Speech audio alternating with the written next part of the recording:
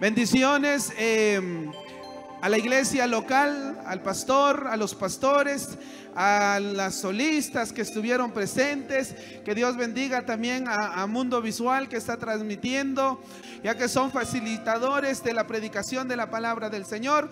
Y a usted que está el día de hoy es porque tiene hambre y sed. ¿Cuántos quieren escuchar palabra de Dios? Bueno, ¿dónde están los soldados de Cristo? Usted va a ver un soldado que trabaja en el gobierno ahorita, no se está quejando como nosotros. Qué frío, igual, que mi hermano to cheu, krinon que atson que mach numuk tun cheu. Pero chonte te Dios sin kotsalach, porque te chuinglal tun Dios tun kahbente. Chonte te Dios makulkanun ahuali linimil tetbi, hermanos y hermanas. Así que vamos a leer la palabra del Señor en Josué su capítulo 1 y versículo 5. Luego nos saltamos al versículo 9. Dos textos de la palabra del Señor. Pongan atención unos 15, 20 minutos que ya nos vamos a ir. Hoy vamos a aprovechar bien nuestro tiempo. Los que leemos la palabra de Dios en nuestra casa ya lo encontramos y los que no, ahí estamos nerviosos. Ya solo falta que se le caiga la Biblia de su mano y entonces ya dijo muy claro que no lo lee en su casa. Ya lo tenemos. Dice así, honrando al Padre, al Hijo y al Espíritu Santo. Nadie podrá hacer frente en todos los días de tu vida. Como estuve con Moisés, estaré contigo. No te dejaré ni te desampararé. Mira que te mando que te esfuerces, seas valiente. No temas ni desmayes, porque Jehová tu Dios estará contigo a donde quiera que vayas. Porque Jehová tu Dios estará contigo a donde quiera, a donde quiera Amado Dios y Padre que estás en gloria. En esta noche, Señor, una vez más, amado Espíritu Santo, necesitamos de tu cobertura, de tu presencia para poder predicar tu palabra y para que sea de alimento fructífero para la vida de tu pueblo, en aquellos corazones tristes, desanimados, en aquellas vidas, Señor, que ya no quieren seguir hacia adelante, pero tu palabra será fortaleza y medicina y refrigerio para nuestras vidas. Gracias Padre, Hijo y Espíritu Santo. Amén. En Josué su capítulo 1, hermano, el título dice preparativos para la conquista. ¿Dónde están los conquistadores de parte de Dios? Usted no es un fracasado, usted es un conquistador. Usted no ha nacido para ser derrotado, sino para ser un triunfador. ¿Cuántos quieren ser conquistadores? No, no, no me convencen. ¿Cuántos quieren ser conquistadores? Cuando tú has nacido, hermano, como un sueño de parte de Dios, las cosas funcionan a tu favor. A hoy vamos a hablar, hermano, sobre ser conquistadores en esta tierra. Porque si Dios te dio la vida a ti y a mí, es porque Dios quiere hacer cosas grandes en nuestras vidas. ¿Qué le dijo Dios a Josué, hermano y hermana? Nadie puede hacer frente en todos los días de tu vida. En medio de nuestra vida hay dificultades, en medio de nuestro diario vivir padecemos circunstancias y hermano y hermana, si usted tiene lucha y prueba en su vida, también un ministerio pasa luchas y pruebas. ¿Me están escuchando? Si nosotros como seres humanos, como en casa, en el negocio, en el trabajo, tenemos luchas y pruebas, también un ministerio pasa dificultades. Pero la promesa pero la fortaleza que Dios nos dice, nadie podrá hacer frente en todos los días de tu vida. Hay cosas difíciles, sí, pero Dios nos saca de eso para testificar que solo Dios nos puede ayudar. Hay momentos que todos nos abandonan, sí, pero ahí es aprendemos que solo Dios es el que nunca nos va a abandonar. Por eso la Biblia dice, nadie podrá hacer frente en todos los días de tu vida. Ahora te pregunto, hermano y hermana, ¿qué es lo que te ha detenido? Para no servirle al Señor con todo tu corazón? ¿Será que la crítica que vino a tu vida te enfrió? En vez de que avanzaras, te estás quedando. Pero hoy te digo, avanza, avanza, porque no le vas a servir a un hombre ni a una mujer, sino le vas a servir al Rey de Reyes y Señor de Señores. Si en, el, en este momento hay una debilidad en tu vida, dígale al Señor que esa debilidad se convierta en tu fortaleza, porque el enemigo no va a tener parte ni suerte en tu vida, sino Cristo en esta noche va a alumbrar tu mente y tu corazón. Y dice, nunca te dejaré, nunca te desampararé. Animamos a la agrupación Inspirados por Cristo. Hoy estamos viendo estamos viéndolos brillar. ¿Por qué? Porque cumplieron un año más en la presencia del Señor. ¿Por qué? Porque el plan de Dios fue que esta producción hoy saliera, hermano, para edificar la vida de su pueblo. Pero si le preguntáramos al director del grupo, aquí a dos, tres meses para atrás, ¿Cuál fue el proceso que Él pagó? ¿Cuál fue el proceso que Él pasó para que hoy alcanzara la promesa de Dios? Él, hermano y hermana, tiene ese testimonio. Solo que no nos lo dijo, solo nos dijo que está triunfante en el Señor. A mí me gusta cuando alguien suba en el altar y diga, hermano, hay momento difícil, hay momento duro, pero a mí no me importa. Lo que me importa es servir a Dios. Esa gente vale la pena porque no desanima, sino anima. Esa gente, hermano, no dice lo malo, sino lo bueno que Dios ha hecho en su vida. Por eso hoy en esta noche dice, no te dejaré ni te desampararé. Dile al que está a tu lado, si un día no me vas a hablar, que no me va a importar porque tengo a Dios, dígale hermano y hermana. Porque aunque usted no crea, en medio de la campaña, en medio de la iglesia, hay gente que no te habla. Pocos dijeron amén, ¿verdad? Pero la Biblia dice, no te dejaré ni te desampararé. Aprenda a escuchar la voz de Dios. Si Dios te dice, no te voy a dejar, no te voy a desamparar, es porque Dios está diciendo la verdad. A lo mejor alguien se acercó con usted, le dijo, usted es mi mejor amigo, usted es mi hermano en Cristo, yo voy a estar siempre para usted. Y el día de hoy el diablo ya se lo llevó. Aló. Pero cuando Dios te dice, no te dejaré, no te desampararé, es porque Dios cumple lo que promete. Hermano Oscar, el grupo va hacia adelante porque esa es la voluntad del Señor. Ya pasaste tu momento de proceso. Ahora viene tu momento en la cual el Señor te dice, mira que te mando que te esfuerces. ¿Y cuál es el esfuerzo que un grupo hace? Cuando llegan en las actividades son los primeros en llegar y son los últimos en irse. Amén. El predicador, o sea, yo solo vengo, hermano, solo traigo mi pequeña Biblia.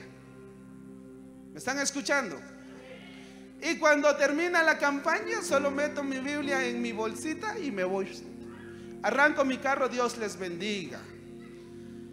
Las solistas solo reciben su privilegio, terminan de cantar y miren dónde están ahorita. Solo un matrimonio está que Dios les bendiga. Porque dice hoy les dije, si se van los voy a redarguir. No, pastor, nos vamos a quedar, me dijeron. Pero Florinda Cuya se fue. Roselia Tiniguar está todavía. No. Imagínense. Hermana Yolanda Isabel ya se fue. Pero Erlinda Baten aquí está. Eso sí es ministerio de parte del Señor. No solo pueblo aguanta frío, ella también porque ama la presencia del Señor.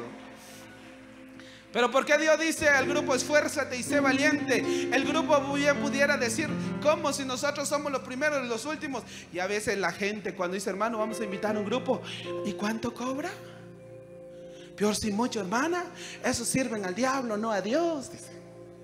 Y son, los que hablan son los sinvergüenzas que no ofrendan, no dan para la campaña. Hermana, usted va a colaborar. Mi, esposo no tiene trabajo. Usted, yo no tengo frijol en la casa, ni tengo comida. No tenés comida porque sos tacaño para la obra de Dios. Pero cuando tú das con amor en la presencia del Señor, todo lo que se siembra se cosecha. Cuando tú das con una mano, recogerás con dos manos en la presencia de Dios. Entonces, ¿por qué dice Dios hoy en esta noche el grupo, esfuérzate y sé valiente? ¿Por qué? Porque es un esfuerzo lo que ellos hacen. Mientras nosotros estamos tomando café, ellos están desarmando, están guardando las cosas y se van. Cuesta un ministerio de alabanza. Escucharon, hermano, cuando el hermano estaba cantando, se fue la batería, se quitó, se puso otro, pero de inmediato hay gastos en el ministerio. Pero después de eso, la gente critica un ministerio.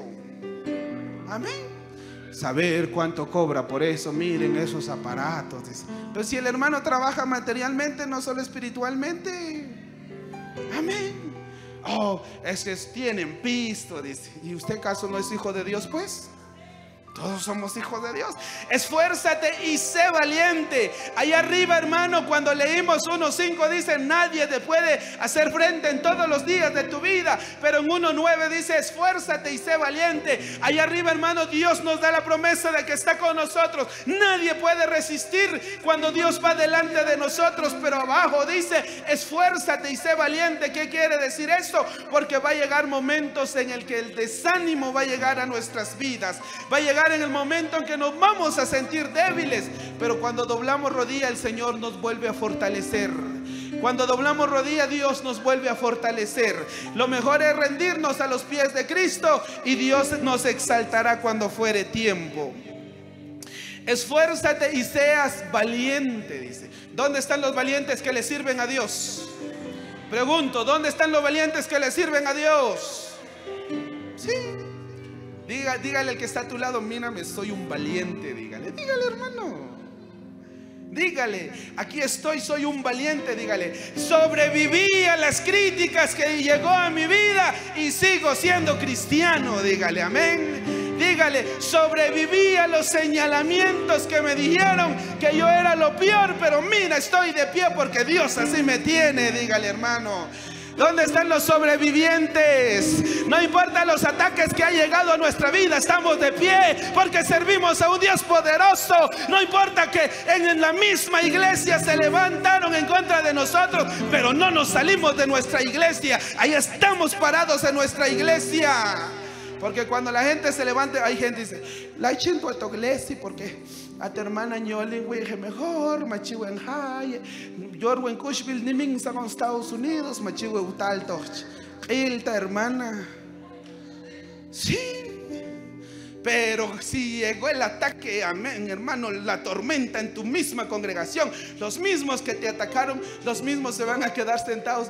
Mejor que lo haga la hermana y se van a reconocer tu trabajo, porque Dios está contigo. Van a reconocer tu trabajo, porque ese es tu ministerio de parte de Dios. Entonces dice la palabra del Señor, hermano y hermana, esfuérzate y sé valiente. Pregunto, ¿dónde están los valientes que sirven a Dios? No temas, dice. ¿Escucharon? Esfuerce, hermano y hermana, y seas valiente, no temas ni desmayes. No temas ni desmayes. ¿Cuántos de ustedes quieren avanzar? Pregunto, ¿cuántos queremos avanzar? ¿Cuántos quieren retroceder?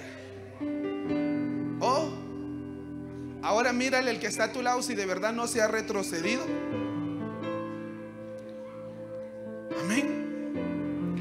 Seas valiente, no temas, dice, ni desmayes.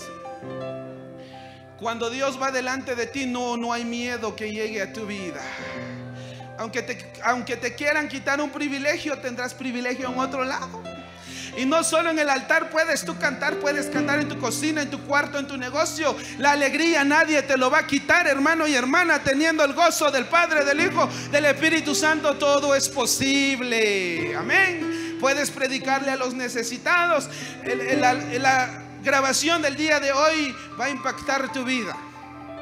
No es una grabación nada más que se hizo de la noche a la mañana. Yo soy testigo del esfuerzo que hicieron. Prepararon el material, doblaron sus rodillas, lo pusieron primero en la, mano de Dios para que impacte la vida de su pueblo.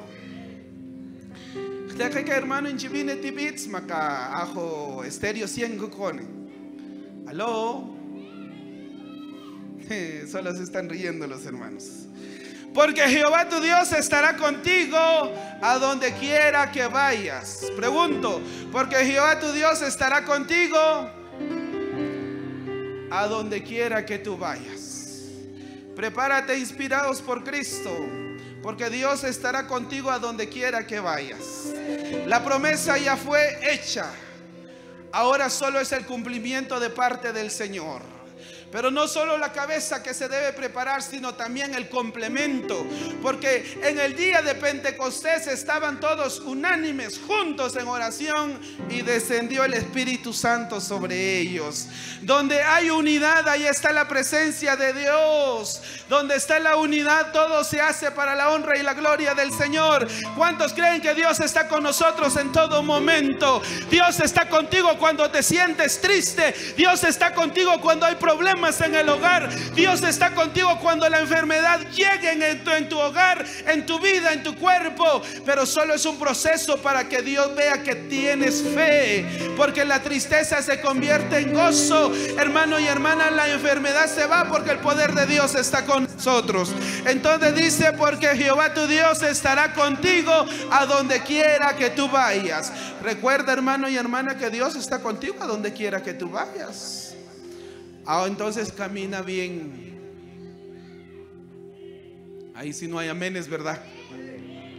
Jehová tu Dios estará contigo a donde quiera que vayas, entonces camina bien. Hmm, dicen todos. Camina bien. Tú no me puedes ver por donde yo camino, ni yo puedo verte donde tú caminas. Pero hay un Dios que tiene los ojos puestos sobre nosotros. Sabe tu salida, sabe tu entrada, sabe tu levantar, sabe tu dormir, porque Él es Dios. Entonces esa es la confianza. Que Jehová tu Dios está contigo a donde quiera que vayas. Amén. Vas caminando, Dios está contigo. Estás durmiendo, Dios está contigo. Estás trabajando, Dios cuida que no te lastimes. Ahí está contigo, hermano y hermana. En una ocasión, una señora eh, de la capital que tenía dinero, un buen trabajo, y la estaban extorsionando, pagó seguridad de su casa y ella durmiendo y ella creyendo que los seguridad la estaban velando. Pero llegó un día, se enfermó de dolor de estómago, se levantó como a la una de la mañana. ¿Y cuál fue su sorpresa cuando ella se levantó? Su seguridad estaba durmiendo. Pero la seguridad que tenemos en los cielos, Él está despierto las 24 horas del día, los 365 días del año y no le pagamos nada, simplemente estamos agradecidos con Él porque Él está con nosotros a donde quiera que vayamos. Amén. Entonces, hermanos y hermanas, preparativos para la conquista. Ahora, para finalizar, ¿cuántos quieren ser conquistadores? Esfuérzate. Porque si quieres ser un conquistador debes de esforzarte. Porque el fracaso es el enemigo el que lo pone para tu vida. Amén.